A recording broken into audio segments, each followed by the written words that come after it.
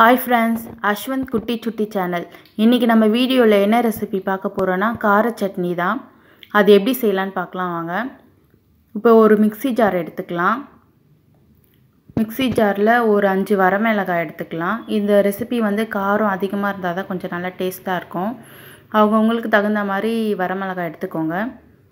பத்து பல் பூண்டு போட்டுக்கிட்டேன். ஆஃப் டீஸ்பூன் சீரகம். சீரகம் வந்து ஒரு நல்ல ஸ்மெல் டேஸ்ட்டு கொடுக்கும். சின்ன வெங்காயம் ஒரு பத்துலேருந்து ஒரு பதினஞ்சு சேர்த்துக்கிட்டேன்.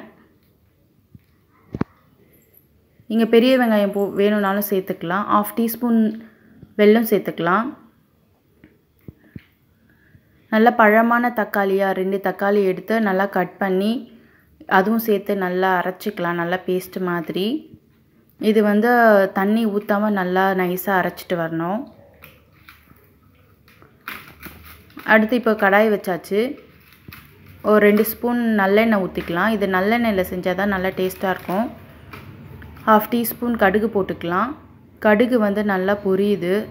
பொரிஞ்சதும் கருவேப்பிலை உருவி போட்டுக்கலாம்.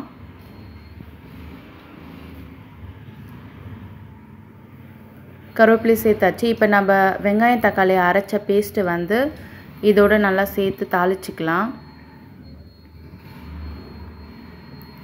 தேவையான அளவு உப்பு சேர்த்துக்கலாம். உப்பு சேர்த்து நல்லா மிக்ஸ் பண்ணிக்கலாம்.